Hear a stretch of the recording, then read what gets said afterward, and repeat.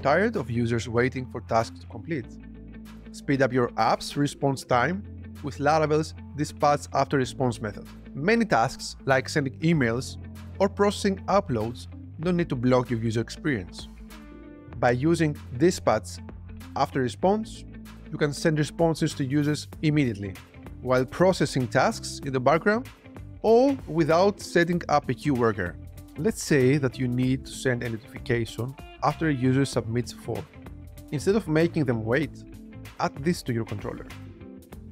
So let's add the send notification and then dispatch after response.